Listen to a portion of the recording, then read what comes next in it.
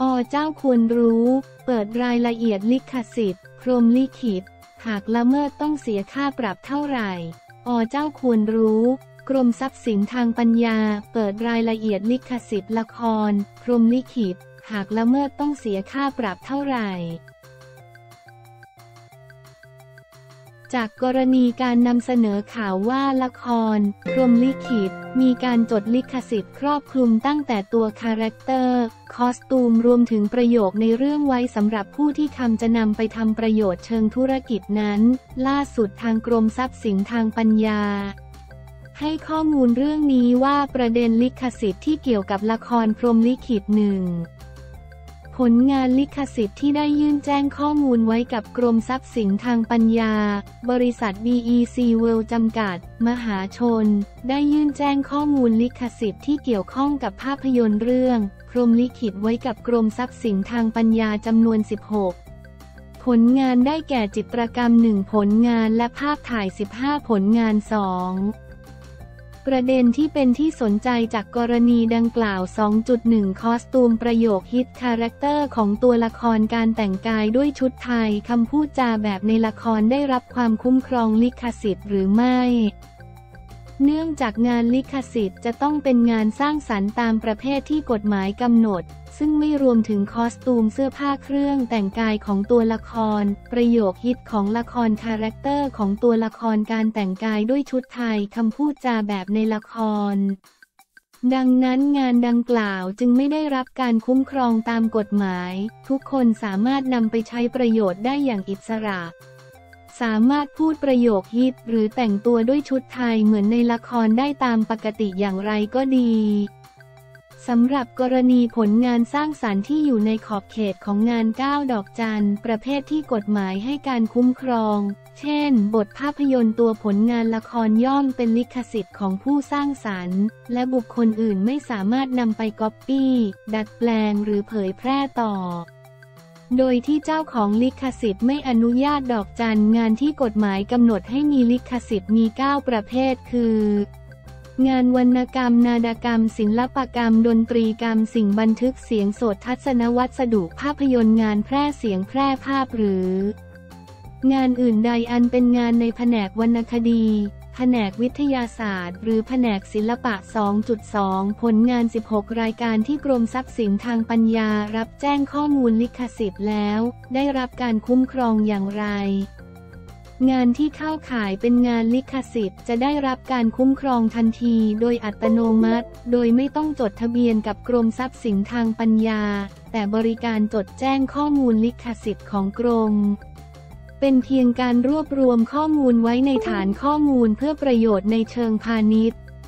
บนพื้นฐานความสมัครใจเท่านั้นผลงาน 16 รายการและงานลิขสิทธิ์อื่น ๆ ของละครเรื่องพรมลิขิตได้รับการคุ้มครองตามกฎหมายลิขสิทธิ์ บุคคลอื่น ๆ ไม่มีสิทธินำไปก๊อปปี้ดัดแปลง หรือเผยแพร่ต่อได้หากเจ้าของลิขสิทธิ์ไม่อนุญาต กล่าวคือไม่สามารถนำภาพถ่ายทั้ง 15 ภาพไปใช้ประโยชน์หรือเผยแพร่บนสินค้าหรือบริการใด ๆ ได้ 2.3 โทษของการละเมิดลิขสิทธิ์เป็นอย่างไร การละเมิดลิขสิทธิ์ที่ไม่ใช่เพื่อการค้า มีโทษปรับ 20,000 ถึง 200,000 บาท การละเมิดลิขสิทธิ์เพื่อการค้า มีโทษปรับ 100 000 800 00 บาท หรือจำคุก 6 เดือนถึง 4 ปี หรือทั้งจำทั้งปรับ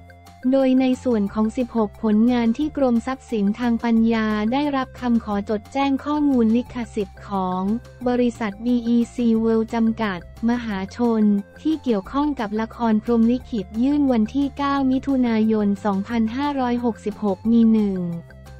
ผลงานประเภทศิลปกรรมลักษณะงานจิตรกรรมชื่อผลงาน พรมลิขิต มี 15 ผลงานประเภทศิลปกรรมลักษณะงานภาพถ่ายชื่อผลงานพระยาวิสูตรสาครและเกตสุราง พุทธานพ่อเรือง พ่อฤทธิ์พระนามนรงและจันวาด แม่ตองกีมาจมื่นสีสอนรัก จ้อย พระยาโกษาทิพบดี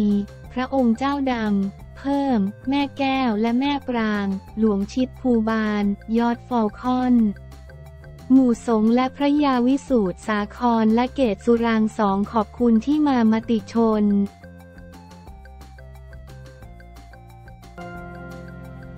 เจ้าสาวแต่งเจ้าบ่าวเด็กกว่า 20 ปีเปสินสอดครึ่งล้านงานนี้คนโฟกัสสีหน้าเจ้าบ่าวโซเชียลแห่แชร์เจ้าสาวแต่งกับเจ้าบ่าวอายุน้อยกว่า 20 ปีฝ่ายหญิงเปให้หมดรวมสินสอดครึ่งล้าน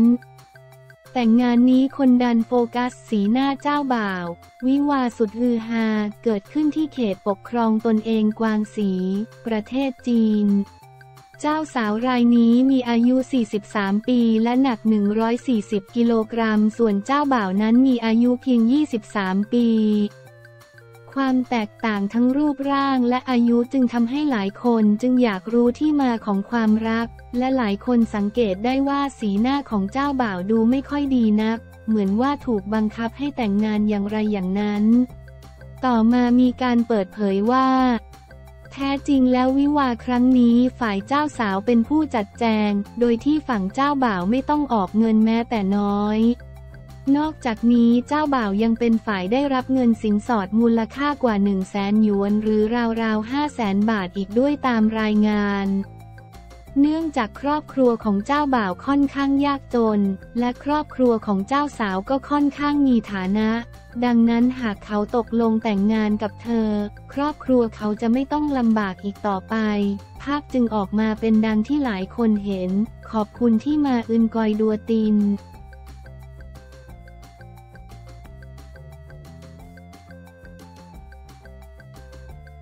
รู้จักจอร์ดฟอลคอนทายาทท้าวทองกีบม้า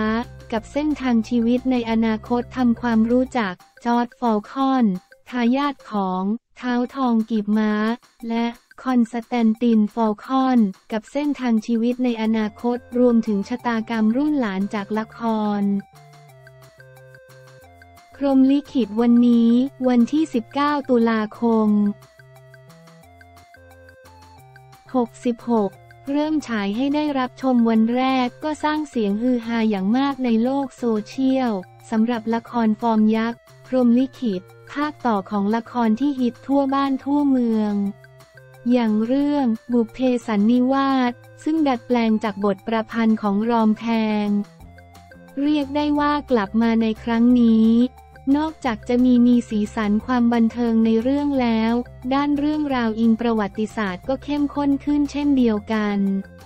อย่างกรณีเรื่องราวชีวิตสุดรันทดของท้าวทองกีบม้า หรือมารีอากูโยมาร์เดปิญญาและมารีกีมาร์หลังสามี เจ้าพระยาวิชเยนทร์ หรือคอนสแตนตินฟอลคอนถูกประหารชีวิตและริบราชบาตรอีกทั้งหลวงสรศักดิ์พระโอรสในสมเด็จพระเพทราชาลงไหลพึงใจในรูปโฉมของเท้าทองกีบม้า และมีพระประสงค์ที่จะนำนางไปเป็นภริยา แต่นางปฏิเสธทำให้ชีวิตของเท้าทองกีบม้าพลิกมาเจิมระสุมมากมาย ทั้งยังต้องทนทุกขเวทนากับการถูกคุมขัง อ่านเพิ่มเติม เปิดชีวิต เท้าทองกีบม้า สุดรันทด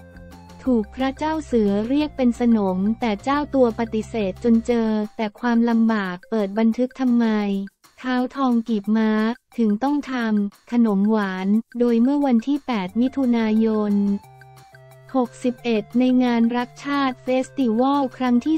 3 อาจารย์พลาดิศัยสิทธิธัญกิจนักเขียนนักค้นคว้าที่คร่ำหวอดในวงการประวัติศาสตร์ไทย ร่วมเสวนาและเผยถึงประเด็น ทายาทของตระกูลฟอลคอน ยังคงมีชีวิตอยู่พร้อมเผยว่า มีข้อมูลปรากฏใน Journal of the Siam Society เรื่อง An Early British Merchant in Bangkok พ่อค้าอังกฤษคนแรกในกรุงรัตนโกสินทร์โดยอเดย์